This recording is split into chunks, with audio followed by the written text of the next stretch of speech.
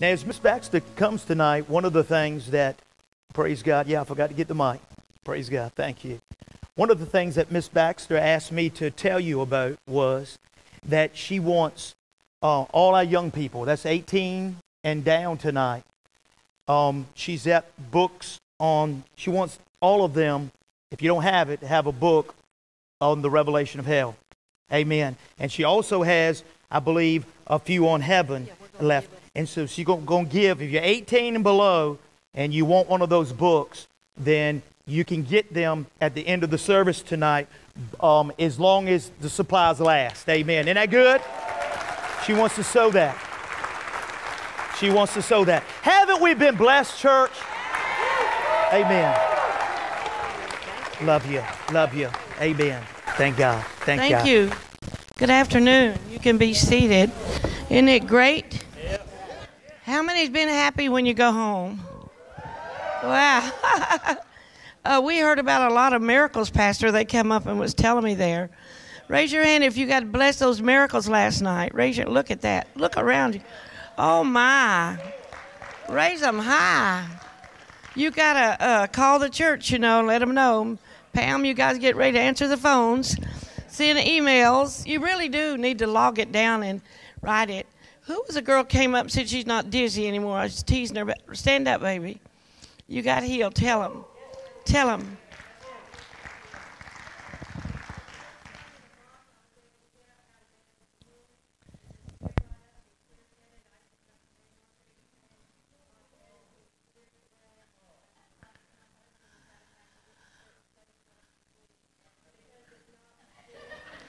Oh my gosh.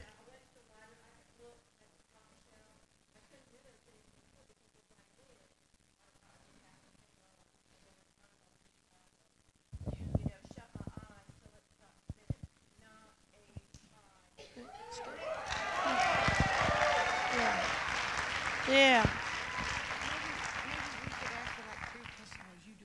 Okay, okay. Praise God. Amen. You hear how wonderful that testimony was tonight? Amen. I want two more of people that, that were, were healed last night that want to testify. Okay, come on up, Ellen. Praise God. Amen.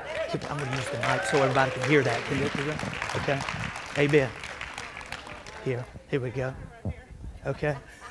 What happened? I um, in September I suddenly lost my vision, and um, I've had some other neurologic symptoms. And last night, I will have to say I'm not 100% at this time, though. I have received my healing. Yeah. Um, I have, for the first time in six months, um, I, I have not had numbness and tingling in my hands at all today. Um, I usually list to the left, that's um, hence the cane. I have not fallen or leaned to the left at all today. Um, my joints and my fingers are better, and my vision is much better today. Praise So, God. Amen. Praise Amen. the Lord. Praise the Lord. That's it. Amen. Praise God. How many know the ten lepers, as they went, they were healed? Praise God. Hallelujah. Come on, give God a shout of praise. Thank you, Lord. Thank you, Lord. All right, want another one? Who else? Really? Amen. Praise God. Brother Cliff? Okay. We'll take two. Sis, come on. Both of you come, and we'll take that. Amen. They'll be short, right to the point, and powerful. This is good. Amen. I've had a knee problem for years and haven't been able to walk without limping. I haven't been able to run. Last night, after I left from up here, she, she blessed my heart and prayed on my heart. But also, when I was walking up the aisle, I felt a muscle come up in my leg. And this morning, when I woke up, I feel this tightness around my knee like something's holding it together, and it hasn't hurt today. Praise God. Thank you, sis. We rejoice. Amen, Brother Cliff. I came up with two problems last night, and I had uh, terrible heartache uh, over some things that have happened to me recently. And after she prayed for me, um, I traded in a, a heartache for a heart of compassion. So Amen. That's good. That's really good. then I had a in my neck. I had a pinched nerve in my neck. Uh, Friday, uh, last Friday, I went to the doctor. He took four X-rays, and he said I had a severe pinched nerve. I'll probably have to go to a hospital and and have some work done on it, you know. So after last night, um, it, it completely left. Uh, for the first time in about a week and a half, uh, I've got a real good night's sleep. Praise God. Woke up this morning healed completely. So, Thank you, brother. Amen. Praise God. I, I first want to give honor to Almighty God tonight, and I want to give honor to Pastor Chris, his wife, and all the staff here that's been so good to me, and uh, Sister Debbie. We've got a beautiful suite and adjoining room the church is paying for, and we're having a lot of fun. And uh, we've been giving the maids some books and CDs and stuff. Yeah, one of them we wanted to come to church tonight. I don't know if she did. But we really want to thank you from our heart. You've been treating us so wonderful, so wonderful. And uh, I, my pastor is Tony Brazelton. He's on the internet and the YouTube, Victory Christian Center in Maryland. And he, we have a church of 5,000. He does. And he has a uh, four or five other churches, and he's got elders and boards, and they're under their leaders, Creflo Dollar. And what I want to tell you is this that my mentor, uh, Burl Rice, many years ago, we met him 25 years ago, preaching. it- I was going with my mentor to preach in Washington, D.C., not too far from here. And he came in with his uh, wife, and they had one baby. I think the little girl, she was just on holding her arms, and he had his Bible, and he and he thought he was coming to Bible study. I remember this 25 years ago. And uh, my mentor went right over to him. and She said, "Thus saith the Lord." Said, "You are going to be an eagle and have eagles under your arms, and under this eagle spread, you have many churches. You will have Lear jets, and you will do, go preach all over the world. You and your wife. Now here they are, just a young married couple with a baby. He fell out in the floor with his Bible under his arm and slept the whole time she preached." and we were so uh, excited. We kept in touch with him and everything. And uh, tr- truly, every word she says to him has come to pass. Every word, you know. And I, I look back as I traveled with her and learned from my mentor from, she was from A.A. Allen's time. And I'm telling you guys that th- when you're with people like that, they're just down to earth people. They love you. They love what you feel, what you think. It, it does a great in your heart.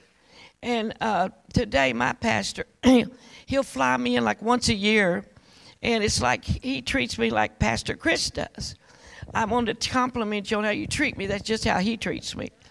And uh, yeah, we we we're, we're in a church uh, where we have armed security sometime, you know, in those areas. And what it is, God is blessing those churches that love Jesus Christ. And a prophet said not long ago, I think it was Clem Clement, he, and he's a real prophet. He said that there, God was going to seek in the countries little churches and big churches. He was going to find churches that loved Him, loved people, and He was going to establish them, and they would bring living water to the people. That's what was spoken. Excuse me, that great revivals will break out in the earth from the countries. So you guys are in the country, right? And get ready for you're going to have a great move of God. Great move of God. And and I want to speak to you tonight a little more on hell because I didn't get to share about a lot of the things and we were talking today and then the Holy Ghost had spoke to me to correct myself to you guys in the office today. And what I want to talk with you in a minute. My gifts are given to me by God in the book of Corinthians, the gifts of the Spirit. Amen. You guys all know about the gifts? Not really, huh? Well, they're given by the Holy Ghost. And the pastors, the elders, the leaders will lay hands on you. Or I had Jesus Christ lay his hands on me, plus elders too, and mentors and, and Schambach. Many people prayed for me. So, what I'm going to tell you, what he gives me by revelation, I, I'm telling you, blows my mind. And the other day, uh, I was sharing about you men having one less rib than a woman, but I stand corrected. I was in air because uh, I have doctor friends, not only, you know, that email pastor here, but I have other doctor friends I've never asked that to. So I want you to know you men have the same amount of ribs as we do. Cause, I just want to correct myself. I stand corrected. And not only that, we were talking, and I said, you know, that's true. I, that was like for years I heard that, you know, growing up and everything.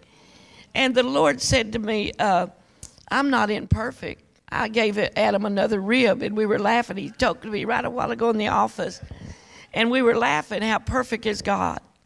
So tonight, I want you to know He's perfect, but He's holy. Sweetheart, He's real. And if you do fall or make a mistake, be quick, okay, to get corrected. We are children in a world that is so mass and so full of sin, so full of meanness, so full of abuse, and God wants us to be different. He wants our light to shine amongst everywhere we go, right, children? And and today, Debbie got a call from a nurse in a clinic in um, Arizona about her treatments, and we asked her about the lady that had the the machine on her last night. We asked the nurse about her. Are you here today, honey? There, yeah, we saw you. She's here. Well, tonight we got to make sure, Pastor Don and uh, Debbie, Pastor Debbie, we lay hands on you again because the nurse told us how, how to pray for you. She said you have a heart disease. That's it's inherited, right? Yeah. And then Jesus broke all those curses in His name. Okay. So, but she said that uh, she was telling us all about you, just what you told us up here, but more. And she said it's very serious, very, very serious, and the lady knows it, and that uh, that that machine is to keep her heart going. And that today, uh, I really wanted us to pray for her again tonight for that disease to dry up. Because, you know, how many heart surgeries you had, honey? How many? Somebody speak up. Four heart surgeries. So that's enough. It's over enough. Right? Right? and God good. So we're going to pray for you again tonight. I mean, she was so sincere, that nurse, and so kind. And we ended up prophesying to her on the phone. Yeah. Yeah, and Debbie's going to take her some of my books. But what we want to know, God loves you. I don't want to leave here feeling that I didn't do everything God wanted me to do. Because I know my God is real. I know He's there. We don't want to see it sometimes when we're little stinkers. And we have been stinkers, you know that. Oh, for real, we have. I think that's why He said some of us are stinking His nostrils, right? Right, guys? Because we got to admit it, we're full of the devil sometimes. But God is using people like me and Bill Wiese to clean us up. See, He cleaned me up again today. So you got to say, okay, God, show me my faults, show me my sins, and let me clean my mess up. Sometimes you got to go to people and repent to them. So tonight we're going to talk about holiness, talk about angels. Uh, we're going to talk about uh, the depths of being holy. And we want to talk to you about if you backslide, don't think you're gone to hell. How many know what I'm talking about? What does the word say? Now, I know that Jesus is married to the backslider. So he wants to pull you back and bring you closer to him and correct you and love on you and just fix you up. Right, guys? And he shows he's, he's real by the healing miracles. He said, Signs and wonders will follow them in my name. And God showed all of us, the elders, a pastor, we were all laying hands on them. It wasn't just one person. So you never take the glory for what God has done. So right now, let's thank Him what He's done, children. Wow. Feel the love. Oh, wow. Well, thank Him in, in your own way for just a minute here, please. Lord Jesus, we just cannot comprehend what you've done in this beautiful church. I see, Father God, how you love this church. I see the humility, the humbleness of the servants of God here. I see the hunger in the congregation, God. Light their fires brighter. Lord God, drop more power of the Holy Ghost on us tonight. Let us be awake and aware of the, the realities of hell. That we don't want one person, not our worst enemy, to go to hell, Lord Jesus. Let us be so attuned to you, Lord God, that we'll listen to you, Lamb of God. Hallelujah. In the name of Jesus Christ. Hallelujah. Amen. So we're going to talk a minute. I'm going to, uh, about hell to you, and we're going to go over to the book of Luke, chapter 16, real quick. And I want to I want to uh, ground something in your spirit, grind something in your spirit. We've had a lot of fun, okay? And God is talking to me, you know, as a mother and a grandmother and a traveling evangelist, that, you know, as time goes on, from the cradle to the grave, God wants a people to praise Him. God wants a people, darling, to love Him. God wants a people that will not stand back if your neighbor's getting beat and you don't do a thing about it. You got to help that neighbor. And, and God wants a people to understand His holiness. And that's what we're going to talk about here for just about five minutes. We want to live in an atmosphere where if we're in danger or our family, that we can immediately call on God in the name of Jesus and He will send help from the sanctuary. And I will tell you a vision I've seen about that many times. Yeah, I'll tell you about it. Because uh, you got to understand your position. But if you're full of Satan and beating and cursing and drinking and cussing, listen, and doing wicked things, you call on God. Sometimes He does hear you. I got to say that. He saves many, many people in those positions. But when you're really real with God, you have a blessed assurance in your soul. He's going to intervene and help you. An intervention of the Holy Ghost power. I mean, it would take days to tell you how God has helped us, kept airplanes from crashing, uh, blowing up with, with us riding on those planes and cars.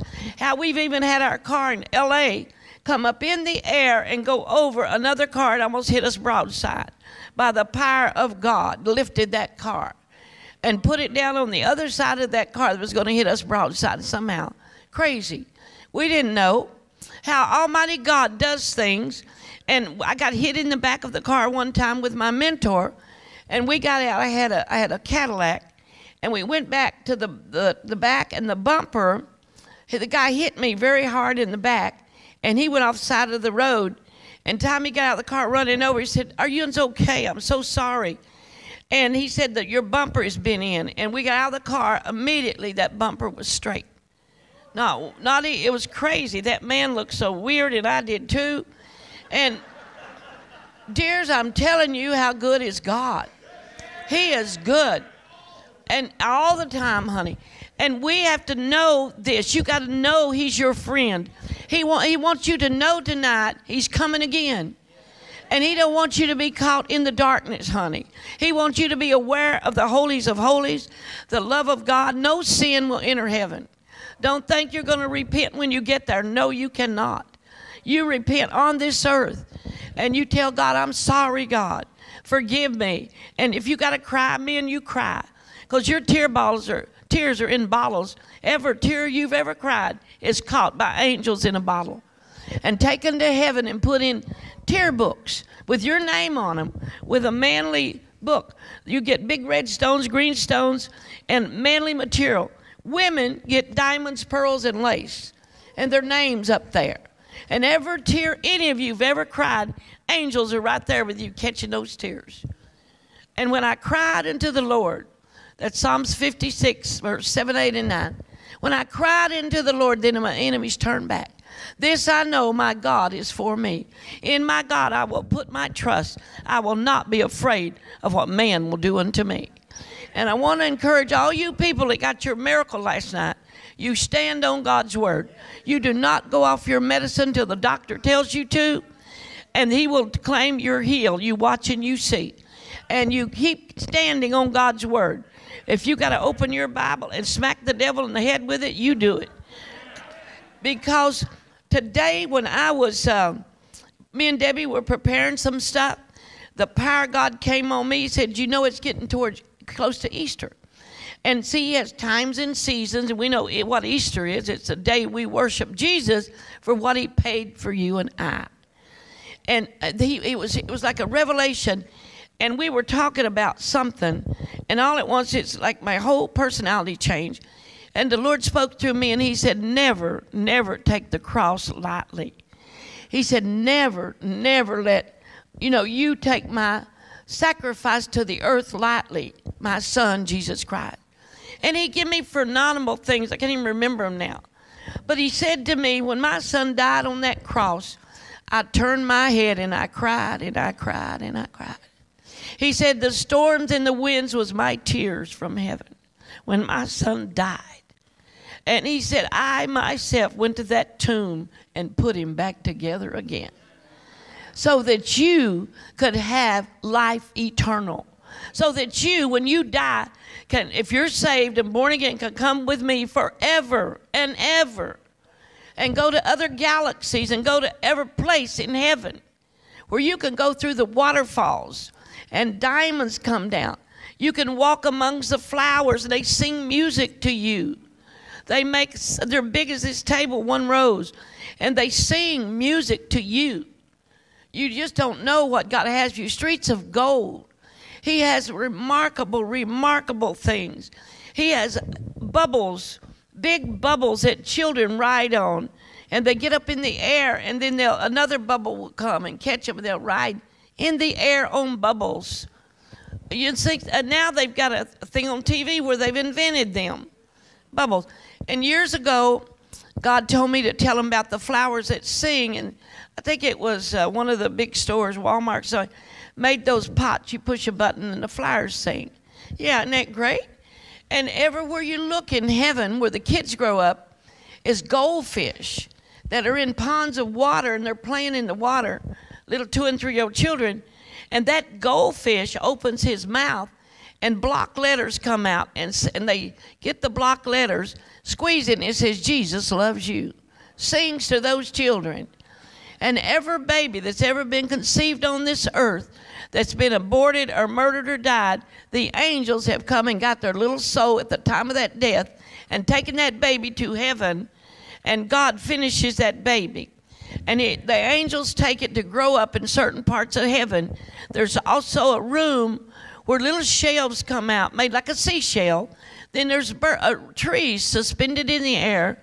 Little birds sit on there and sing to that baby and they call them precious. But when you name that unborn child that you cared, you knew you had it.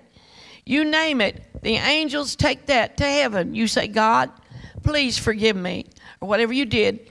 And Lord, if you went abortion, and you merely mean it, you mean it with your whole heart, and say, God, please tell me, was it a boy or a girl? And when God does that, then you say, Lord, may I name my baby? This is real. And you take, the angels take that name put it on the top of the little board over the baby, and remove the word precious. They like Mark, like John, uh, you know, Tom or Judy. They put that name ahead of the top of that baby. And sometimes the babies say little. You can walk up to a six-year-old child, and they're they're so brilliant it blows your mind what comes out of their mouth. Uh, they can play the piano. One boy was playing a piano better than Beethoven and singing with the voice of an archangel. It's brilliant what God has for us in heaven. Teenagers in heaven, families in heaven, young people. You, God, I don't understand all those mysteries. I don't know it. But I knew, do know when you die and go to heaven, if you were a 100, 15 minutes in the atmosphere, you look 28 or 33 years old. You know that. You don't. How would you like to be there up there someday? Am I, are you listening? We all want to be there someday. So, children, I want to explain to you about heaven, and now I'm going to touch on hell because here in Luke, it tells you clearly that when you die without Jesus Christ, God's judgment comes on you, Almighty God, His judgment of eternal damnation. And you say, What is eternal damnation? Sweetheart, that's where when you, okay, say you die, and like you saw in the video, they go down, they fall down, and their demons take them and they begin to put them in certain sections of hell, like you have these boxes up here. They have pits and, and like maybe a thousand acres or more of land down there where the pits are, just the holes and they take and place you in a pit that's got burning rocks in it. It's in a circle, and then it has flames that come up from the bottom, and they'll place you. You have a skeleton form You can still talk, like here, I'm going to read you in a minute. You can still hear. You can still think. You have your senses that you died with. If you die blind, you're blind in hell. And anyway, they take your soul, it's in a skeleton form. That's how God showed them to me. And they put you in the middle of a pit with your name on it. And then the fires around there come up over your bones, and you have a gray, ugly substance on your body. And as that substance comes up, the fire touches it, and it burns it like hot lava. And then it melts down, and as it melts down, they're pulling big white worms out of their arms, screaming, Let me die, let me die. And death never comes. And then you're watching this by, say, see, where you're sitting in your seats can you imagine if anybody you know went to hell? There were thousands of people in in this area that had the either was different types of sin. Over here, say in hell, they would be the adulteresses. Over here would be the liars. Okay, you understand? They're sectioned off of the lifetime of sin they committed before they died. If you did every sin, I don't know how they do that. But the, I don't, but I'm going to tell you what I do know that these skeletons can turn, they can talk, they can scream. You don't know if it's a man or woman, honey, till they speak. And by their dialect, you know what nation they're from. And you're looking at masses burning, screaming. And here's the, what I want to tell you the Lord's word is written in big black letters, in paragraphs, in sentences flames around them, you can read the Word of God. Lovers of their own flesh more than God's commandment. Amen. The, the lust of their flesh deceive them, devils deceive them. This is scary. I mean, it's real scary. And you think about. How many of you thought since the service began about somebody in hell? How many's thought about it? You really thought about it? Have you cried a little bit? I know you do. You can't help it. Because when your eyes come open and when you hear with your ear, God's circumcising your ear and your eyes to see. We walk, we talk. Rarely does anybody, when you're young or in your teens, really think about eternity. From the cradle to the grave, we know as grandmas and grandpas, we never dreamed we would be this age, did we? Tell the truth, guys. Tell how fast time goes. Life is like a vapor of smoke. In hell, their carcasses had a vapor of smoke moving and moving, but it could never go outside the rib cage, brother. And they had uh, the, the worms, the bones, and the fire, and they would scream, Let me die, let me die. I've been here 50 years, I cannot die. They would scream to Jesus, Get us out, get us out. And Jesus would cry, and some of them would curse the Lord. They would blaspheme him as he walked by. And there were sections where backsliding ministers were.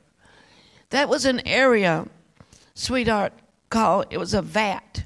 It was about as big as this room. It was four or five feet tall, made out of rusty metal in a circle like a water tower. And I watch with Jesus as demons, demons, and by the way, are not invisible in hell. You can see the horns, the tails, some four faces, some, oh my God, two feet, three feet, tails. They got hoofs. It's just like these horror shows. They're horrible. And they will have chains around skeletons dragging them. And they will laugh. They'll say, according to this, we have to, um, we're going to put you uh, uh, with the murderers. You were a murderer on the earth. Yeah, they do that. They have books and records. And they take and put you with the murder. And they'll say, according to this, you're, you were called and chosen of God. And we deceived you into backsliding. And we killed you before you could come to the knowledge of what God wanted you to do. And they said, We deceived you. Demons say, We deceived you. And they're on this chain. So what they do, they they pick like 10 skeletons out of those people with a chain and they throw them in that vat. And that vat has lava. It has boiling, raging fire that comes up splatters over the edges, and in it is people bobbing up and down, screaming and screaming and screaming. And Jesus said to me, They had many chances to lead my people to Jesus Christ. He said, Those men and women's souls in there were knew better. Every one of them knew better, and they lied when they was in a pulpit. They lied to the congregation. They never warned them about eternal damnation. They never told them the truth and said, I warned them. And I said, prophets, I said, apostles to him. And he was weeping. He said, Child, beware. Don't you never fall back. Oh, he warned me, man. So that's why I'm so bold.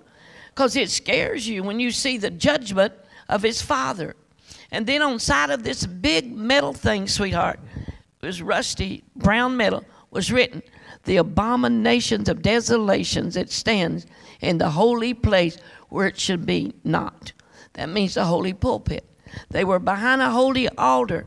And he said, All these souls you've been talking to through hell, some of their leaders are here that brought them to hell. They never told them the truth. They never told them to repent and be ye holy, for I'm holy. So you understand now how important it is? You have, sweetheart, you, all of you are so kind. I want to thank you for giving me offerings. It means the world to me. But you are, you are God's chosen generation, every one of us. And if we don't wake up, baby doll, while it's time, and these young people, you got to open your little eyes. And you got to stop and think. You hear, say, you have a friend uh, that was into all this trouble, uh, screaming. Now, today in California, I go a lot to California. The kids come in droves to hear me. They say, Mary, is there really a God? They'll say, Mary, what, what does it mean we'll burn forever? Mary, what is going on? I was told there was no God. I was told them I could go to Wicca and be a powerful witch, Mary. Over and over their little hearts. They said, We don't want to do this and go to hell. I mean, their hearts are broken. And we weep and cry with those. They come in droves. The very man that I'm doing the movie with, one of his name, won't you pray for him? His name is uh, Andrew Rogers. He's 27 years old, got the Holy Ghost. He's the one that gets the funds for the Christian films. This man, when he started a Bible study, it comes loaded with young actors, Christians, people. These little girls, they've been beat, they've been hurt. These aren't the actors, these are little kids coming in with their friends to Bible study. And I prayed with a lot of them. And they said, Oh, my Lord. They said, We never felt such love. We never felt such unity. And God is doing this. You hear me? Businessmen come there. They so one man said, This is my family. Said, when I fly to New York for business, I fly to Texas, I think of hurrying back to pray with my family. So think about it. God is moving in places you'd never dreamed. And, and when if he's picking high elite people, these people are fulfilling Bible prophecy that God's going to raise up a standard in Hollywood and change a lot of things. Okay? So we need your prayers. I want you to pray for me for that movie called Eternity. I want you to pray for a man named Mark Cook. He's the one that works with Passion Movie and. He's one of the producers. So we're doing all that paperwork. When I go to these meetings, it touches my heart how they really love God and want to change the world. They want to change destiny. They want to prove we didn't come from a fish nor a frog. Sincerely, it teaches that. Some people believe that. So we have to recognize exactly what damnation means sweetheart. And it's even we read in Mark about your hands and your eyes last night. Remember, guys? Where if you keep lying, cheating, stealing, doing the things with this human body, God says, stop it. Stop it. And when we listen to the word, we understand. But the young kids out there, there's such awful doctrines in many places. There's only like maybe 10 churches that really preach fire like you guys do. And the people are coming to him in droves to get their lives right. Isn't that wonderful? So I want to read to you here. Thank you, God. Oh, my, I feel His love. Wow, guys, you feel His love just fell? And this what you we got to learn together. Let's heed that. Let's say, because Pastor said I could. When you feel this, let's right now just close our eyes. Say, Lord, we receive your presence. Wow. Oh, my. Oh, Lord, yes. For I will crown this church with glory. I shall crown this church with glory on Easter. I shall bring my crown of glory down and put on the top of this church. And thou shalt have a changing of the guards. I will send you another troop of angels, and the other angels will come home, because they will establish more things for you. There will be a changing of the guards, a changing of the atmosphere. That will be your day of elevation. Wow. Wow. Wow. Thank you, Lord. And many shall come and drink of the waters here. Many shall come, my children, to hear what I'm saying here. You shall see and you shall know I've said these things. For I have chosen this place to let living water flow. I've chosen this place to heal my people. Oh my. Saith the Spirit of the Lord. Thank you, Jesus. Wow, to feel His presence. His arms are around you guys. You're, you're favy, favored, highly favored. Highly favored. Wow, thank you. Thank you, Lord. Amen. Here in uh, the book of Luke, we read it the other day, and we're talking. I'm going to go down. It's uh, chapter 16. And I'm just going to go down here to verse 22. Chapter 16, guys, verse 22, if you want to put that up. Verse 22 of chapter 16 of Luke. And it came to pass that the beggar died and was carried by the angels into Abraham's bosom. And on that great day, uh, Easter, when Jesus was crucified, and he went down uh, down into hell when he rose from the dead after if they put him in the tomb. He said, Open up you gates and let the King of glory come in. He went down into hell, and all of those that had waited on the promise, there was an abode where they could see down into hell. That's where Jesus went to talk to those that's waiting on him. And it said right here that the baker died and was carried by angels into Abraham's bosom. The rich man also died and was buried. And in hell, this is the, the rich man, he lifted up his eyes, being in torments. Right there proves to you those people in the pits that died with their, all their senses could see. And they were on fire with worms crawling through them. And you could not get out of the holes. And I read them to you out of Ezekiel 32 because, sweetheart, the demons would shove them back in and laugh. It's all true. Bill Wiese talks about it. Other people talk about hell. And let's look at this. He lifted up his eyes, being in torments, and seeing Abraham looking afar off. It was far from him, and Lazarus in his bosom. How did this rich man see and understand it was Abraham and it was Lazarus? Bosom, Abraham's bosom. How did he know that? They were not a vapor of smoke, evidently, right? They were not in a skeleton form, were they? They were in human forms. They had to be for him to recognize them. And when he looked at them, you know, here's what he said. Verse 24, he didn't just talk, he screamed, he cried. Father Abraham, have mercy on me. Oh, and send Lazarus that he may dip the tip of his finger. See, you got, he felt, he had, you know, a tongue, and he wanted a drop of water and cool my tongue, for I'm tormented in this flame. But Abraham said, Son, remembers he had his brain that in your lifetime you had good things received, thy good things, and likewise Lazarus evil things. For now he is comforted and thou art tormented. When you read this Holy Scriptures, you wonder, how could this be? How in the world could people walk on the earth, talk and eat and drink and party and fellowship, pray and seek God? Think about it. And all the time, a lot of the sinners that the devil's blinded are so careless and so don't understand they get killed, died, or car wrecks, or get old and go to hell. So God is raising up a standard of holiness again. If years, if, how many years has the gifts of healing left the earth? How many other preachers know? It's been like 30 years, right, in America. It's beginning again now, the massive miracles. It's begin. How many years, guys, you older Christians? When you could go to Schambach's 10 and all of them and get miracles, couldn't you? You guys know what I'm talking about? So now it's coming back. Pastor Wright in California has a church like yours.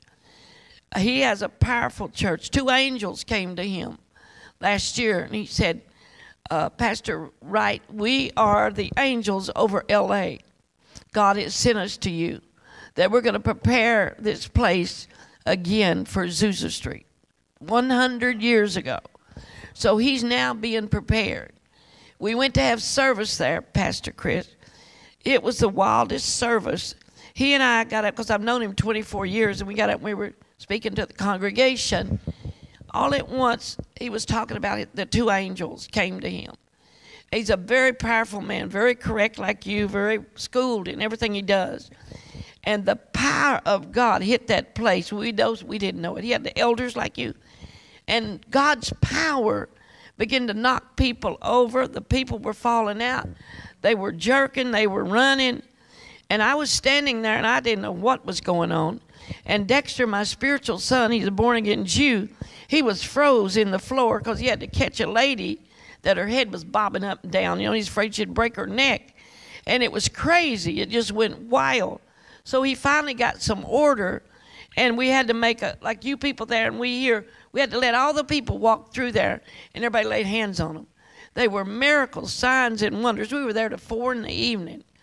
God did that, all of that. We had no part or lot in that. It was God to prove how much He loved Pastor Wright. Isn't that wild? And people come in droves to his church. And what it is, it's a timing, Pastor Wright told me. He said, Mary, it's the timing. Said, I've been waiting 40 years for this. Yeah. He said, it's the timing of God. And you never know when God's going to explode things for you. You better get ready, guys. You better get ready because there's going to be a wind coming this place, going to rock your tree. Wow. Ooh, yes. Glory to his name. Debbie was telling me last night she kept feeling the power of God hit her in her seat. Have you guys been feeling anything like that? Raise your hands. Wow, all over. Just, you know, that's because you opened up your heart and said, okay, God, use me, touch me. And the angels go around, I've seen them, they'll touch you, some of you, and you begin to feel His power. Isn't that wonderful? So we're talking about heaven and hell and a mixture of what the power of God does.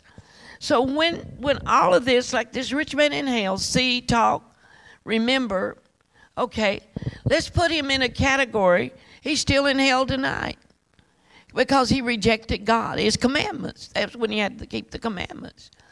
And so you see, Jesus had to go to the cross to keep his promise naturally to let them out, pair, you know, Abraham's bosom. Am I right? Jesus had to fulfill the prophet's word, his father's word and be down there to talk to them for three days to make them escape out of that place. He opened up and they were translated to heaven, right? Am I right? Also, the, the graves busted open when he was crucified. 500 people come out of the graves, listen, walk the streets, and then they were brought up to heaven. Think about that. Half your graveyard down here popped open. A lot of you got family there, right? Think about it a minute. Think. How many times graveyards you you drive by? Oh my God, how many made it to heaven? Yeah, I think that a lot. And you have to start thinking of your family, sweetheart. Some of them are little rascals, you know. And I know, boy, I know. I got one that was a Navy SEAL and another one that, oh, they're just boys, you know, but they're, you got to really sit on them sometime, preach the gospel, because they like to fight, you know, and wrestle and all that stuff. Do you guys like to fight and wrestle, guys? Now you're laughing. I know you do. You probably don't let Mama know about it, because she'd get a hold of you. And uh, he, you know, you got to. I never listen. Let me tell you, mothers. God, let me tell you, women here something tonight. If you got a son or daughter that's in the occult, and you're scared to death of them, you get yourself a bottle of olive oil, go in their room and sit on them, and drown them in the olive oil. And you prophesy over them. Thus saith the Lord, you're going to live. You're not going to die. You're going to serve the Lord. Don't be a coward and run in the corner. And all that little hoochie coochie they stuff they do is a bunch of garbage. And you got to get bold as a lion, you mothers, and knock the devil out of them. Don't let them back you in a corner. You better believe it. We can't back down because we're after the. We don't want their soul to go to hell. You don't want them. A lot of kids are in Wicca, and I'm telling you what, the, the Lord's going to get you kids. You better stop that stuff. And I know what I'm talking about because I've ministered all over the world and they don't even know they're in darkness. Till I talk about hell, they get so scared because in hell there's a 17 miles high of a circle, and every level is about 12 foot, and then another 12 feet high of people that was in the occult. There's a bars in the front of their jail cell, and they were witches, they were warlocks, they served Satan. And fires come up the sides of those cave those jail cells and go in and burn them and burn them and keeps it's like it's alive. Then it comes out and it goes in a circle and satan comes in the middle and he takes fireballs out of his hands and throws more at them and he says if you don't praise him the devil he will burn you more and more and they're screaming let us die let us die you lied to us. Well, the devil is a liar. He's a liar. So, any of you out there in the cult tonight, and if you start doing your coochies on me, I'm going to come after you. And because if I start to choke, if I start to choke, I know you're in here, so you better not use that trick. I usually go after them because the Lord wants me to. We've had them crawl on their bellies to get out away from my mentor. She, I learned the hard way, you know she had me go pray for some of them like that, and they didn't crawl then away from me, but they did her. All she had to do was look at them. They'd they crawl like a snake to get away from her because of the power in her life. She sought God. She loved God. And when you seek God, you're going to have that power. When you seek Him, you shall find Him. When you want more of the Holy Ghost. Your wife was telling me, sir, you were really travailing the other night, pastor right here, of, for souls in this place. And it came on me and Debbie too. We were crying for souls. And the Holy Ghost was saying, I want souls. I want souls to be saved. I want them to come out of darkness into light. And that's what this is all about.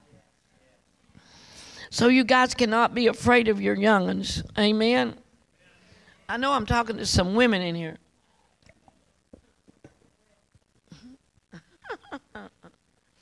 Yeah, just get the, get you another prayer partner and if you can't sit them, hold them down, the other one can. Say, say, hey, young, and I gave birth to you. You came out of my body, and I'll be doggone if you're going to tell me what to do. you got to get bold with the devil. He'll take your child to hell, man. My son, my son was a Navy SEAL, and and something happened in our life very critical. I mean, not critical, uh, horrible disaster, and he uh, he turned into drugs. He got on cocaine. He got it never raised in church and everything. And uh, what happened to him? for two years, we had to get look for him, pray for him, find him, and and every time my son, his brother, would find him, he would go to the drug house and pour oil on him in front of all those other people. And he'll say, "You're coming out of this. You can't do this," you know and all kind of stuff. And they would find him and bring him home. He was so bound by drugs. And uh, later on, uh, I was travailing one night, uh, all night. I travailed from sundown till six six till six, and when I I looked up and there was a red glow, a circle on my ceiling. In the middle was lights like that, and I took a picture of it. And then the, it moved back, and then I had a vision, open vision of heaven, and all my prayers are going straight to heaven. And I really saw this, guys. I saw big stallions, worn, worn horses. They had some kind of metal on their legs, the horses. Now, the reason I'm telling you this, these demons need this. They need to be destroyed. And it's in Malachi. And then the, their, their legs, um, then the riders were dressed with metal and iron. But they were 30 foot high. The horses was this wide. Big, big stallions. They were sitting on them in rows, and Michael the archangel was in front of them. They had a sword, flames come out of the bottom and the top. And they had helmets on, and their jaws were made out of iron. They weren't, you, you'd think it was the devil if you didn't know they were God's warring angels. And uh, the Lord spoke to me and He said, Dot, only for your son will we move tonight. Today, we're going to move for many children in the earth many children on drugs and stuff. And so what happened? They began to come down to the earth, and uh, I saw the angels going into where drug scenes was and picking out certain children and pulling monkeys off their back, monkeys off their legs, and burning them up with them swords. Then I saw homes and houses. I saw bars where people were sitting at the bar and demons be hanging on their legs like monkeys, Pastor and on their shoulders. And the angels just pull them off and cremate them with that sword. And the Lord said they don't have any souls, the demons. It's their day of judgment in my son's name. I saw this. I'm telling you what I saw. And later on, uh, when my son was delivered, I said, Honey, did you feel like a monkey was on your back? He said, Lord, yes. Said, I actually could feel it crawling around my neck. And he said, It would tell me you're no good nobody loves you. You might as well OD and this and that. Oh, yeah. And he said, Mom, I knew better, but this thing had such a grip on me, I could not, I could not let go. It made me go in a circle like a madman. And he said, I hated it, I hated it. And he said, I met one man, Mama, that came to a, dr- a drug house because the Lord told me that he was going to send help to my son. But he said, Mama, he was different. He said he, he was a huge muscle made man. He said to me, his name's Scott. He said, You do not need to be here. Your mother's praying for you, your father. And he said, I looked at him and, and said, I believe in angels. I believe in all that. And he said, I watched him.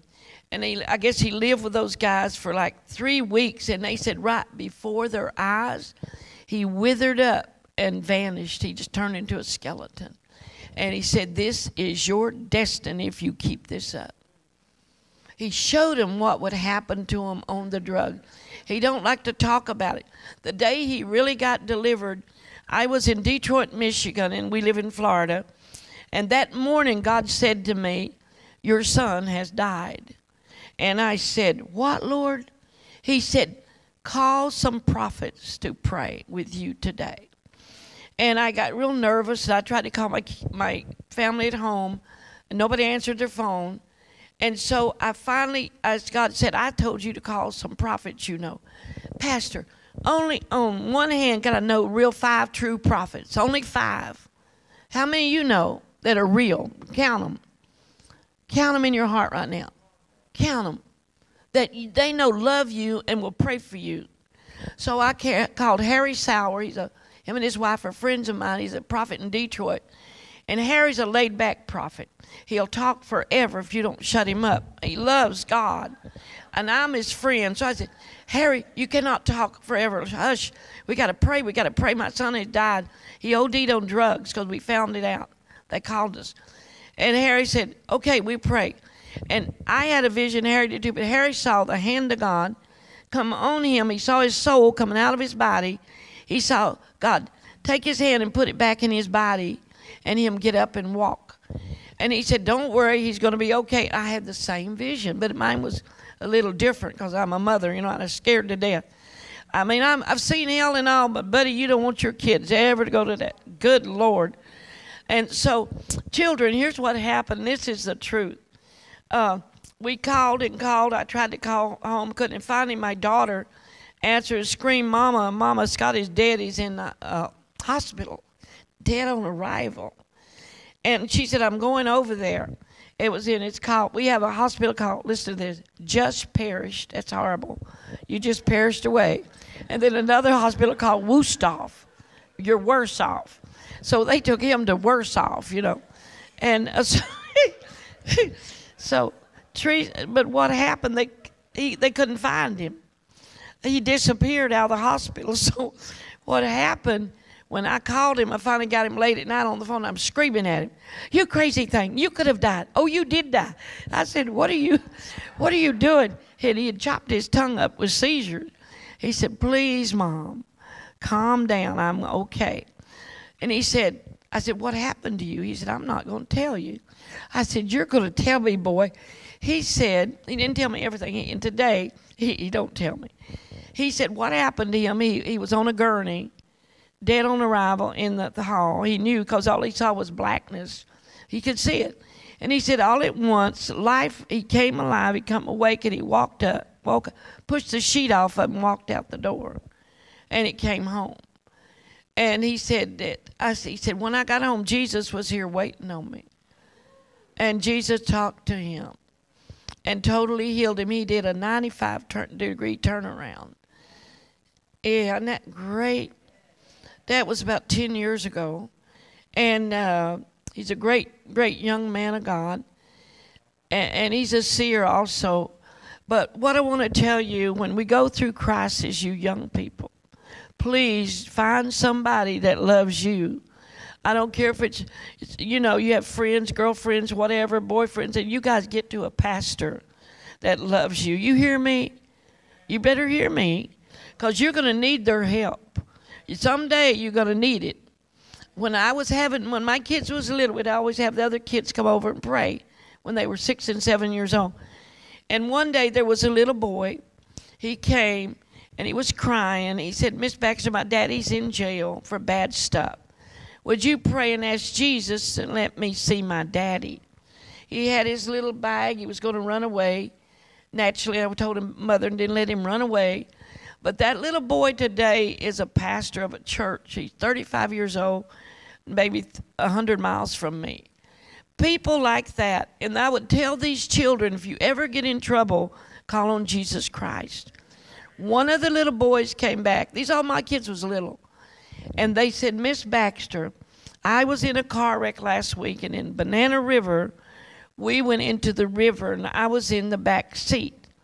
And he was 10 years old. That was like two weeks after I told him to call on Jesus. And two of the boys died because we have a Banana River there. We're by waters. We're right on the Merritt Island, Cocoa Beach here. All they're married. And he said, What happened? An air bubble came around my head and I kept saying, Jesus, don't let me die. Jesus, don't let me die. And air bubble. He lived. He was in the water 15 minutes.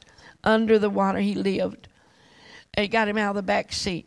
So listen, Jesus will answer your cries. Are you hearing me? Don't don't tell him. Don't be. And then I taught my little kids too. If you feel a gut feeling, you better not do that. You better not do it because you better behave. So what we do as parents, Sometimes we don't see the danger they're going to get in. The kids today get hammered in high school, hammered in college. They get, little guys, they get, you know, I know because I've been through all that stuff. And we have to know that they need to know how they're loved. Even if they fall down and you have to leave them alone a while, uh, still love them, still get in touch with them. Because that's the devil's game, so you won't communicate with them. And they'll end up in jail. And so God delivered my son. But Buddy, it was through a lot of prayer to Velen. And then the other son, he's a little stinker too. We were in Detroit. I was in Detroit, and uh, I've been doing this since 1960. I mean, 90, uh, 93 is when my book came out. And then I didn't really start going in the world till, till 96, only twice a month. And then later on, I think it was 97, I preached three straight years nonstop, 400 services a year and everything because the kids were grown then. But what happened to me, one day I was really seeking God about my son, uh, the younger one. And that little stinker was in Detroit and he called me for some money. And I said, I'm not giving you no money. You, I don't know what you're going to do with it, son. And he said, Well, mother, I just want to go party. I said, Yeah, I'm not giving you money to go party. Am I crazy? And I slammed the phone down on him. I was having a bad day. And now this was when he was, oh my God, how old was he? About 21, I think. Five, six years later, we're in another place preaching. He's helping me. And uh, his mother in law is sitting at our table. I'm there, and we're in Perkins. That's where we took that dead lady that day that raised my dead. And uh, Grandma looks at him and said, Billy, did you ever tell your mother what rotten thing you did the day she wouldn't give you the money? I said, What rotten thing did you do, Bill? He said, I went up on the Renaissance Center in Detroit City. You guys know that biggest building in Detroit? You do know. Do you remember the Renaissance? You guys, none of you don't pay the. Co- on the computer, they had to get a name for it, what, 15 years ago? It's called the Renaissance Center. It's the highest building in Detroit City. You've never heard of it. We lived in Detroit, so I know. But he said, I got so mad at you, Mama. I went on the top floor and I was going to kill myself. I was going to jump off. And I said to myself, she'll really feel bad then because she didn't give me the money. I thought, what? And Ma said, let him finish before you smack him, you know. So he said, I took a flying leap off that and jumped in the air. I think it's 20, 30, 40 stories high. You know, he'd been a vegetable, uh, nothing when he fell. He said, a big angel grabbed me around the neck. he said, he like, like Mr. T. And he said, Boy, do you know where you're going to go if I drop you straight to hell? and, and, and he said, he said, I was so angry he threw me back up on the thing. He threw him back up on the top of the Renaissance. Look it up on your internet. You'll see the building. And said, "Oh, that made me mad." And said he, he said I jumped up and took another flying leap out. yeah, he Kenneth Hagin's son. Remember, he helped him off a motorcycle. Remember that? When Hagin, yeah. And he said, I took another flying leap, Mama. And this time the angel was mad. Said he took his fist and knocked me in the jaw all the way back on there and said I woke up 12 hours later sober and scared to death. He knocked him out. So naturally, my reaction was to smack some sense in him. So I smacked him on the jaw. And he said, Now, Mom, I done repented. I said, But you never told me, did you? and just things like that. I almost fainted when he told me that. And Ma said, Well, you know, God has you out here preaching, taking care of the king's business. He's got to take care of these little stinking kids. She called them stinkers too. it's true. He'll take care of your kids because they don't know how to resist the devil all the time. We, we do. I hope you do. You take your authority, you say, Hey, devil, you ain't coming another inch. You know, name of Jesus, you back up, devil so I told all, told all the kids how to pray like that. And even today, boy, they get in trouble. They'll call me. And I'll say, well, start praying. They'll start praying. They know God. They know how powerful He is.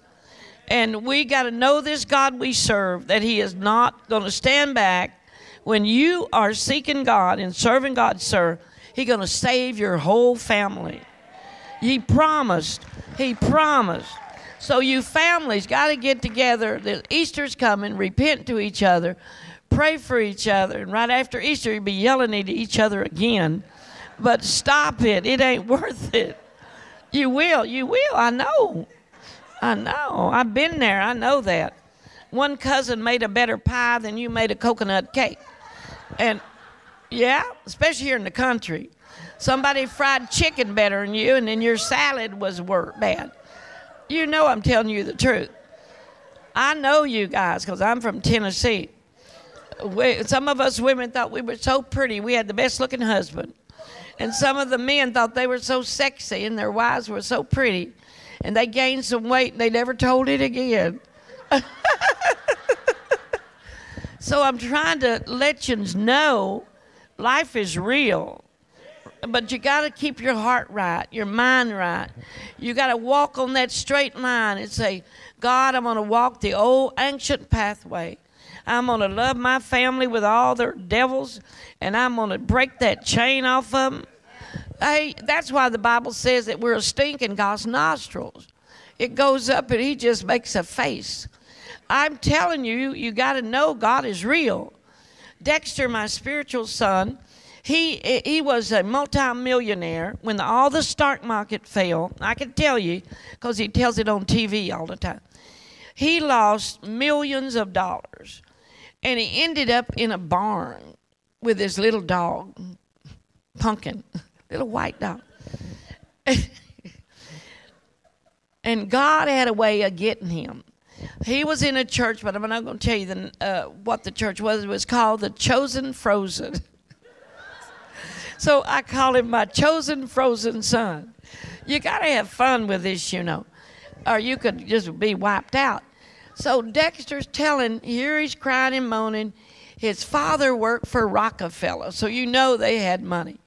So Dexter had lost everything, stripped down to nothing.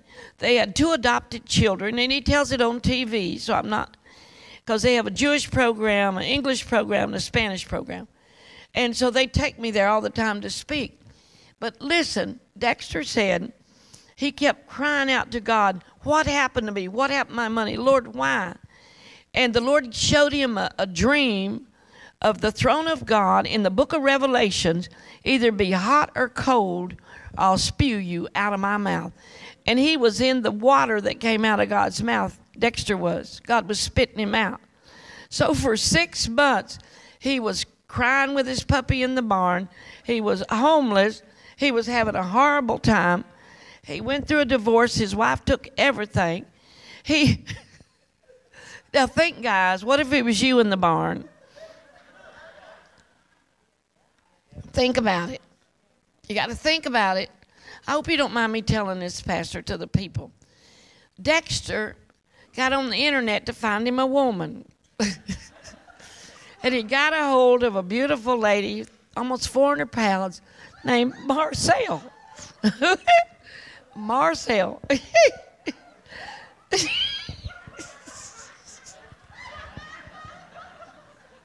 you better not laugh because today she's gorgeous and weighs like, I don't know, a hundred and something. The, she's one of my spiritual daughters. She's Spanish, speaks English. She's got 13 years of college. She taught in John Hopkins University and made 5000 a day teaching. Teaching. She'd bought houses and land, a woman. And her father is a Jew from uh, uh, Venezuela and another country. They're Jewish and it cracks you up. So they went out to dinner, and Marcel wouldn't look at Dexter because she was embarrassed of her weight and everything. And he kept screeching. And he'd have to, he said, I had to follow her like this, Ma. Her head would go down. He said, I said to her finally, Do you ever look at who you're talking to? And she said, If I want to. So she's real feisty. And so her brothers made her go on the internet. That's how she met him. But make a long story short, he blessed her. He helped her. He, he takes her to Nordstrom's and Macy's. God's blessed him. He's got back everything he lost. But what happened to him when he turned back to God, when he said, Why do you spew me out of your mouth? The Lord showed to him, You were in a church, he said, that was false doctrine. That's what he told him.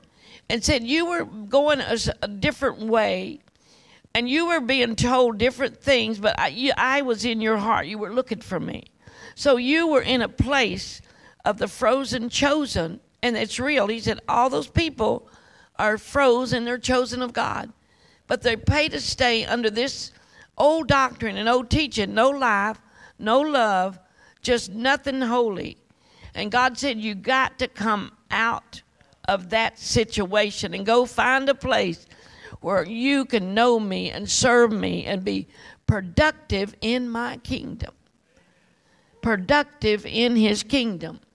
Oh, he's, he's a wonderful person. He's now, uh, God's training him as an apostle. And as time went by, he, he grew. He met Marcel. She was full of the Holy Ghost. She helped him from level to level. He got some of Hagin's book. He got some books of the Holy Ghost by Benny Hinn. He got the Holy Ghost by her, her telling him he needed the Holy Ghost. And through the Holy Ghost, helped that man grow. So, kids, it's real. It's real. Don't give up. Don't be a chosen frozen, okay? Really think about it. And now there's, they're the happiest couple. They like these two. They preach together, pray together, tell their stories together, and people get saved. And people, family marriages are restored. And tonight, I wanted to tell you, God spoke to me to pray for the couples here tonight. All the husbands and wives that are here, I think it's about it's about time. We're going to pray for you tonight, especially in the ministry here. How many husbands and wives are here tonight? Oh, wow. You're going to get blessed tonight. Yeah. So I wanted to share those life experiences with you that there's hope. Please don't give up. He raised my child from the dead. He can do it for you, honey, because I stood on his promises. And when that boy was uh, three months old, he used to have epileptic seizures. And under his bed came a light, real bright. It was three in the morning, and we'd got back from the hospital with him. And the Lord spoke to me, and He said, If that child was to ever drop dead, I, the Lord, will raise him up. And years later, see, He did that. Isn't that something?